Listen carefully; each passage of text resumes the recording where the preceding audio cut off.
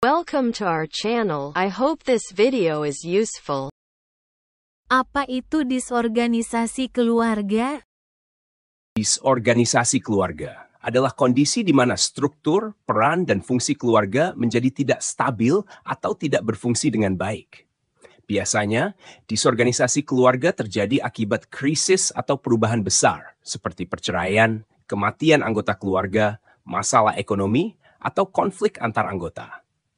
Dalam keadaan disorganisasi, peran dan tugas di dalam keluarga tidak berjalan seperti seharusnya, yang bisa mengakibatkan ketidakseimbangan dalam fungsi keluarga sehari-hari.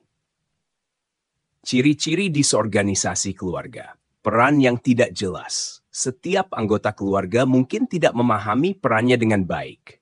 Misalnya, orang tua tidak berfungsi sebagai pemimpin atau penopang sehingga anak-anak merasa kehilangan arahan. Kurangnya komunikasi. Anggota keluarga kurang berkomunikasi secara terbuka dan efektif, sehingga masalah tidak diselesaikan dengan baik. Rutin dan aturan yang biasanya dijalankan bersama, seperti makan bersama atau menjaga rumah, tidak lagi dilaksanakan. Krisis fungsional.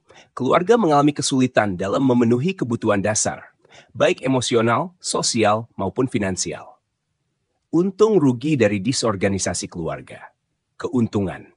Satu, adaptasi dan kemandirian. Kadangkala, disorganisasi membuat anggota keluarga belajar untuk lebih mandiri atau beradaptasi dengan cepat dalam situasi yang berubah. Dua, kesempatan belajar. Situasi yang menantang dalam disorganisasi keluarga dapat menjadi kesempatan belajar bagi anggota untuk mengatasi masalah dan memahami pentingnya komunikasi serta kerjasama kerugian. Satu, gangguan emosional dan psikologis. Anak-anak dan anggota keluarga mungkin mengalami stres, kecemasan, atau depresi karena ketidakstabilan lingkungan rumah. Dua, kurangnya dukungan sosial. Keluarga yang disorganisasi mungkin tidak mampu memberikan dukungan emosional dan sosial yang cukup antar anggota. Tiga, penurunan kualitas pendidikan dan perkembangan anak Anak-anak di dalam keluarga yang disorganisasi sering menghadapi kesulitan dalam pendidikan karena kurangnya dukungan dan bimbingan dari orang tua. 4. Risiko masalah sosial. Keluarga yang disorganisasi lebih rentan terhadap masalah sosial, seperti ketergantungan pada zat adiktif, kenakalan remaja, atau perilaku antisosial. Kesimpulan Disorganisasi keluarga dapat berdampak serius pada kesejahteraan psikologis dan sosial anggota keluarga, terutama anak-anak.